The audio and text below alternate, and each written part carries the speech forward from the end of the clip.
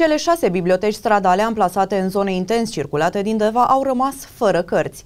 În urmă cu câțiva ani, conducerea bibliotecii județene a decis să pună la dispoziția devenilor în mod gratuit cărțile primite din donații. Ideea inițială a fost ca oamenii să ia cărți gratuit pentru lectură și să le restituie după sau să le păstreze, dar cu condiția să pună altele la schimb.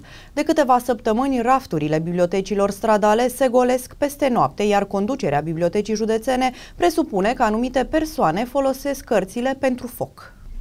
Bibliotecile stradale erau completate săptămânal, dar odată cu venirea iernii, standurile se goleau de cărți după câteva ore. Dat fiind faptul că donațiile de carte sunt din ce în ce mai rare, deci stocul se epuizează rapid, conducerea bibliotecii județene a decis sistarea aprovizionării bibliotecilor stradale până când se încălzește vremea și astfel cartea își va recăpăta adevărata utilitate, nu cea de combustibil pentru foc. De când ați uh, observat dispariția cărților uh, din bibliotecile stradale? Deci, în urmă cu câțiva ani, am deschis șase biblioteci în are libere în principalele puncte de relaxare din Deva, mai precis în parcuri. Aceste biblioteci erau aprovizionate de noi săptămânal. În această iarnă am constatat că după aprovizionare, la interval de câteva ore, cărțile dispăreau. Și atunci am hotărât să stopăm aprovizionarea lor până cel puțin la primăvară. Presupuneți, bănuiți uh, cam cine ar bănuim putea? Că acele, bănuim că cine le ia le folosește